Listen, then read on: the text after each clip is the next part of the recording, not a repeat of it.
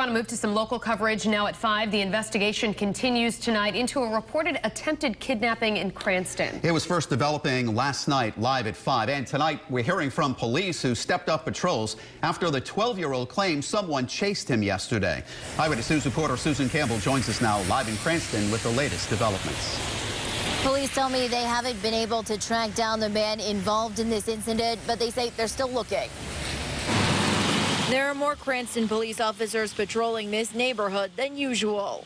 We're checking the bus stops, checking around elementary schools and middle schools, making sure the kids are okay going to the bus stop, walking to school and whatnot. An attempted kidnapping prompted the increased patrols. Cranston's a pretty safe community, especially this area, uh, the aqueduct area.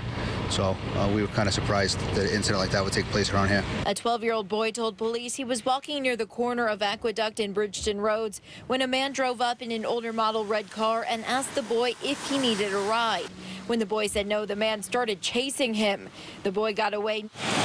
Now, police are on the lookout for an older white man with gray hair and a gray mustache who is wearing a blue pullover with an orange zipper, a red baseball hat, and sunglasses. Meanwhile, school officials are encouraging parents to talk with their children about strangers. Certainly, we don't want to scare them and make them afraid of walking to school or being in school or being in any public area. But they also need to have the tools to be able to react appropriately and get themselves to safety.